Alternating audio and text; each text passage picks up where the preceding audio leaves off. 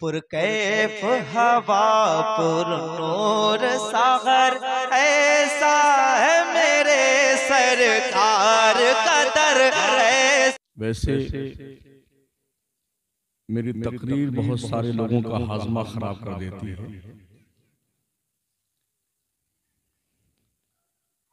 कुछ लोगों को उल्टियाँ होती हैं कुछ को दस्ते लगती। हैं अपने काबा की हिफाजत हमें खुद करनी है। अब अबाबिलों का लश्कर नहीं आने वाला। छुपाकर आस्ती में बिजलियाँ रखी हैं गर्दों ने। अनादिल बाग के गाफिल न बैठे आशियानों। में गुज़श्ता 20 दिन के अंदर हिंदुस्तान के कई हज़ार मुसलमान मुर्तद हो गए। बीस दिन के अंदर। उसमें मौलवी भी हैं और पीर भी ताजिर भी हैं और आमतुन्नास भी हैं। मुशरिक भी हुए मुर्तद भी हुए और काफिर भी हुए।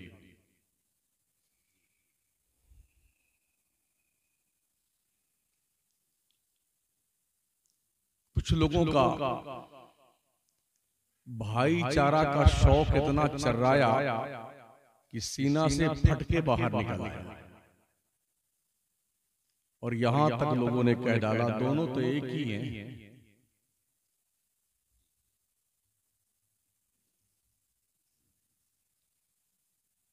पत्थर के अंदर प्राण डालने का। वावेला पूरे मुल्क में मचाया गया। मगर डाल नहीं सकते। ये काम मेरे का है अल्लाह चाहता है तो मुर्दों से जिंदों को निकालता है अल्लाह चाहता है तो जिंदों से मुर्दों को निकालता है।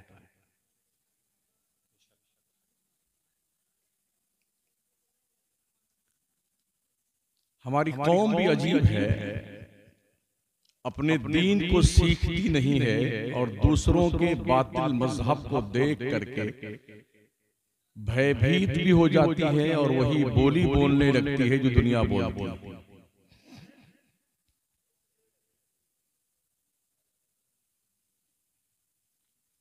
पढ़े लिखे लोगों से लेकर के जाहिलों तक की। हज़ारों अफराद की मैं बात करता हूँ जो मुर्तद हो गए सिर्फ़ बीस दिन के अंदर। कुछ डर के मारे कुछ पैसे के लालच में और कुछ सहानुभूति दिखाने के तौर पर। हमारा मज़हब भी पैगाम देता है लकुम दीन हुकुम वलिया दीन तुम्हारा दीन तुम्हारे लिए हमारा दीन हमारे और ये भी अजब इत्तेफाक है करोड़ों माबूदाने बातिल को मानने वाले एक हो गए।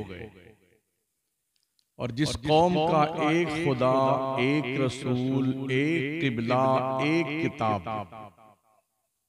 वो जूते में दाल मार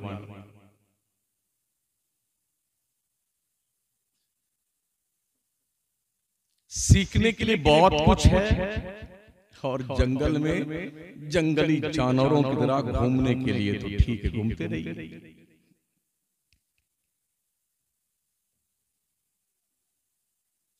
अल्लाह इरशाद फरमाता तुम लोग अल्लाह का इनकार कैसे करते? कुन तुम अमवाता तुम मरे हुए लोग थे। तो हमने तुम लोगों को ज़िंदा किया। तुम युमीतुकुम फिर हम तुम्हें मौत देंगे। तुम युहीकुम फिर हम तुम्हें ज़िंदा करेंगे। इलैह तुरजऊन। फिर तुम्हें पलट करके मेरी तरफ़ ही आना है ज़िंदगी के एक एक लम्हे का भुगतान करने के लिए।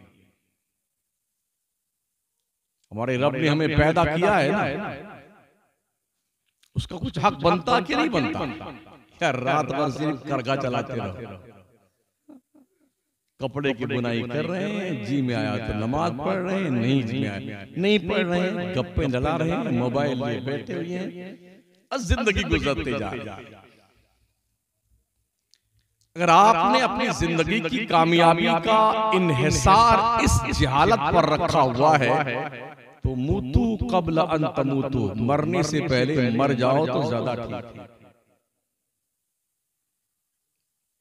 ये दुनिया सीखने की जगह है। कुछ बातें देख कर सीखी जाती है। कुछ सुनकर सीखी जाती हैं। कुछ कुछ छू कर सीखी जाती है। कुछ सूंघ कर सीखी जाती हैं और कुछ चख कर सीखी जाती है। उसी को हवा से खमसा कहते हैं।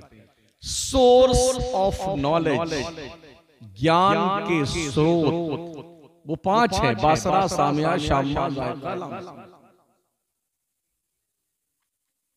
इन्हीं पाँच हवास के ज़रिए से हम किसी चीज़ का ज्ञान प्राप्त करते हैं।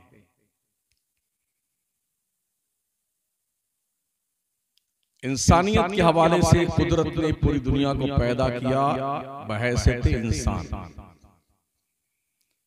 और हमें अपने रब की इस जर्रा नवाजी पर जितना ज़्यादा शुक्र अदा करना चाहिए वो कम है कि उसने हमें मुसलमान बनाया है। और सबसे बड़ा करम अल्लाह का ये है कि उसने अपने महबूब पैगंबर का दामन करम हमारे हाथों में फरमाया।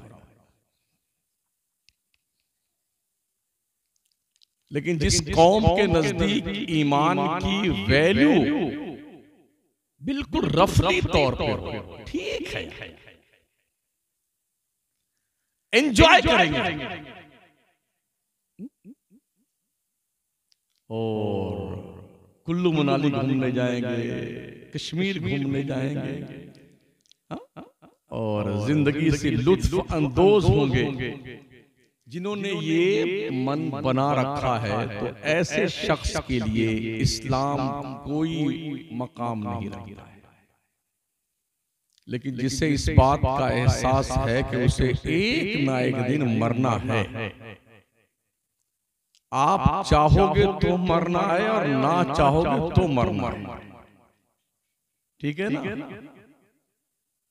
अल्लाह का ऐलान ऐनमा तकूनु युदरिकुमुल मौत वलौ कुंतुम फ़ी बुरूजिम मुशय्यदा तुम चाहे मज़बूत किले में बंद हो जाओ।